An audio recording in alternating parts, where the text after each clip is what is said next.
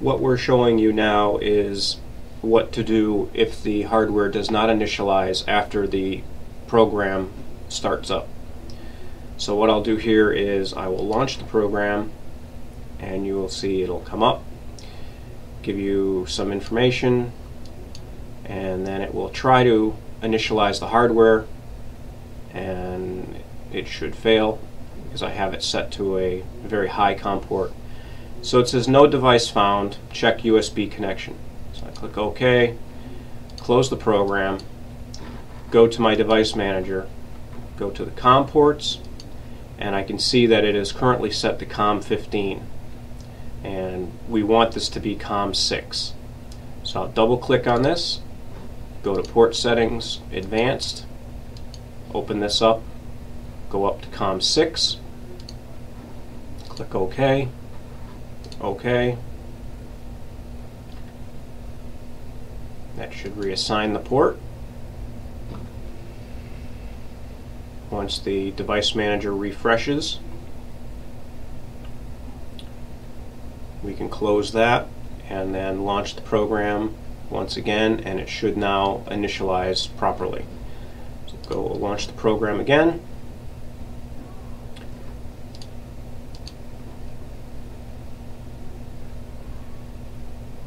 Okay, looks like it's having trouble again.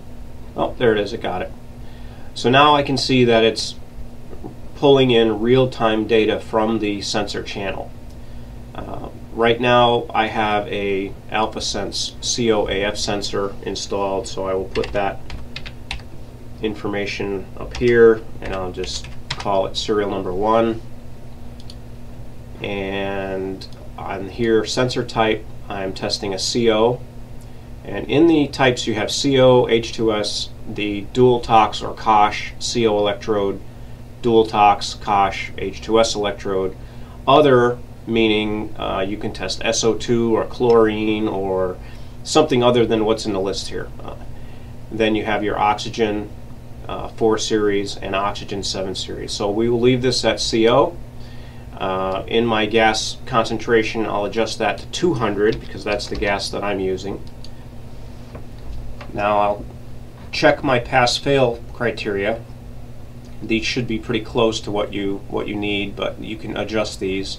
So right now my baseline limits, are, these are in nanoamps. So the pass-fail for the baseline is plus or minus 200 nanoamps, which equates to about 3 ppm, uh, roughly. Now my span limits, uh, I can see that it is set to 50 nanoamps per ppm as the and 100 nanoamps per ppm as the maximum. So that, that's fine. I can leave that alone. So I'll go down here and I'll click on Start Test and it will ask me to verify the gas value, which I did. 200 is correct. You can make adjustments here if you need to, but this should be what you had input. So click OK. It tells me to apply the calibration gas. So at this point I'll turn my calibration gas on at a flow rate of a quarter of a liter to a half a liter per minute and I will slide the cal cover over the sensor. Now what you see is the sensor output being graphed in real time and what it will do is it calculates the sensor output in nanoamps per ppm. This is the, the uh, sensitivity of the sensor.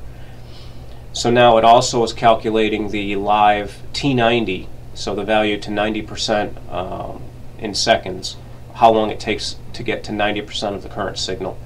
So this is a, this is now testing, and once we plateau, once the channel plateaus, um, the software will determine that the test has gone on long enough, and it will either pass or fail.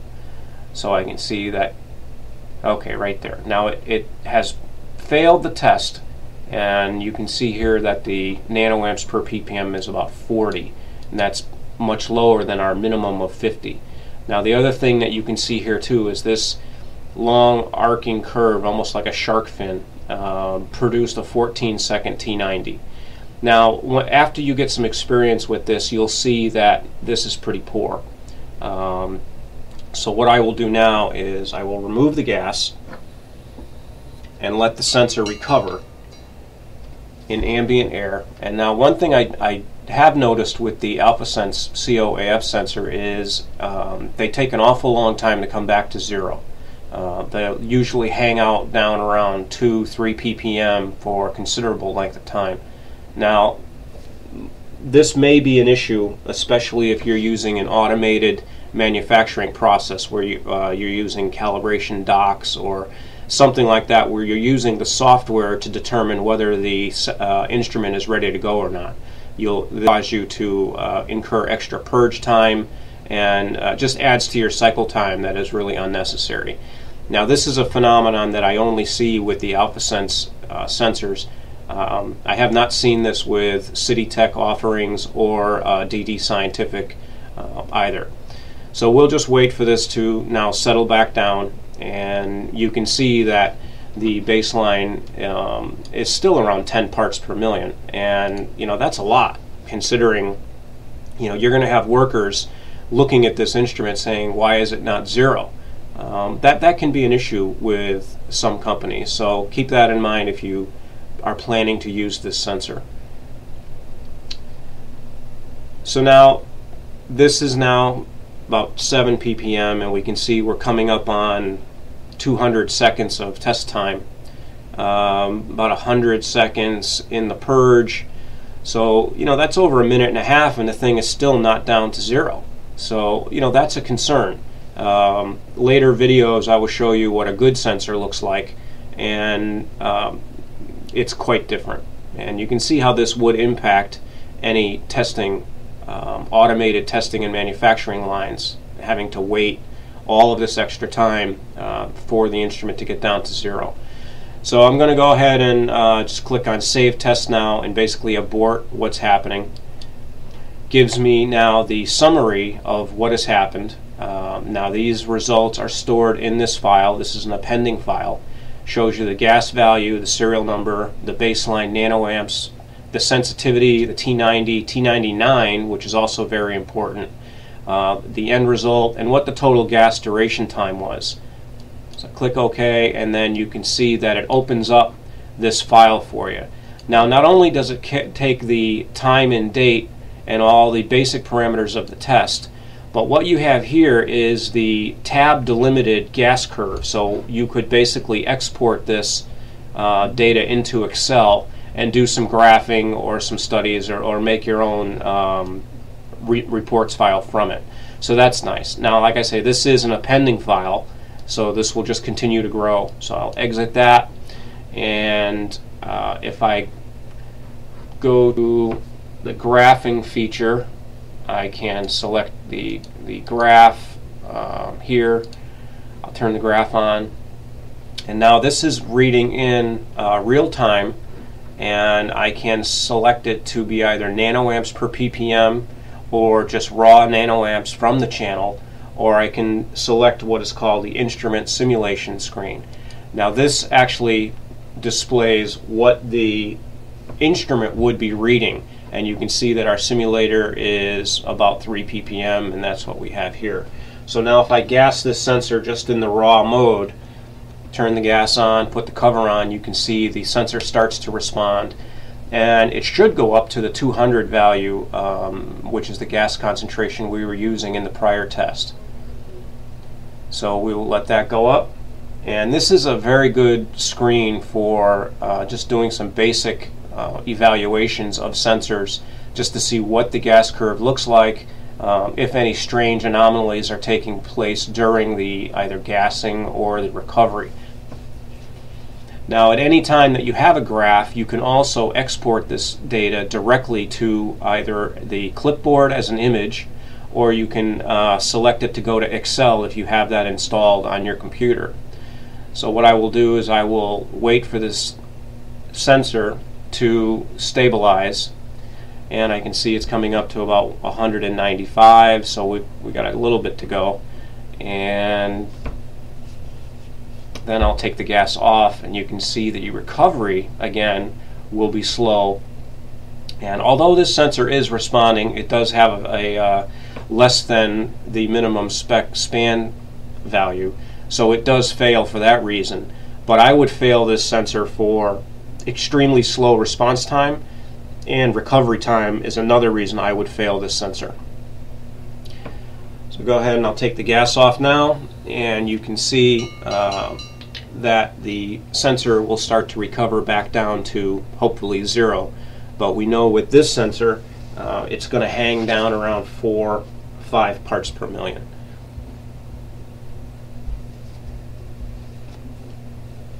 So now that I have this going here, what I'll do is I will right click on the graph and I will select export data to Excel.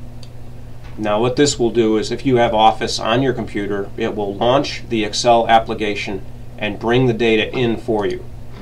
So here we have the data. Now the, the sensor output data is here and what I'll do is I'll just install a chart and you'll be able to see that it is indeed the same data that we were looking at.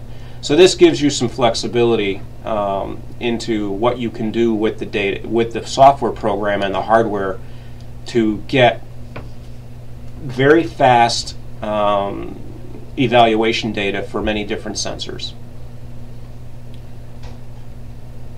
So I'll go here and I will go ahead and shut the graph off. I don't need to be looking at that anymore. And I see that the current simulator reading is around 7, 5, 6, 7 ppm. So what we can do is go to tests. If we want to look at the last test data, select that.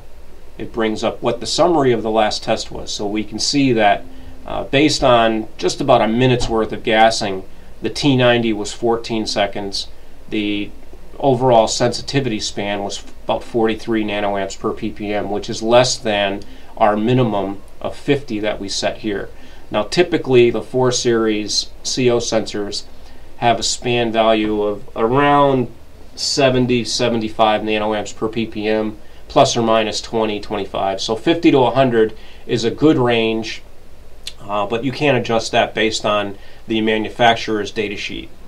And what's nice about this program is it is manufacturer independent, so you don't have to um, worry about is it the instrument or is it the sensor. This is an independent uh, measuring device, which there's no fudge factors in it. There's no um, un, you know uh, any type of algorithms for calculating um, predictive end readings. So basically, it is what you what you see is what you get, and does create a pretty damning document um, when you return sensors for credit or warranty re repair. So again, it's another tool that is uh, very good for the service centers and um, I will continue to update our video file with different tests as we go. But for now, I think that should do it. Thank you for watching and your comments are always welcome.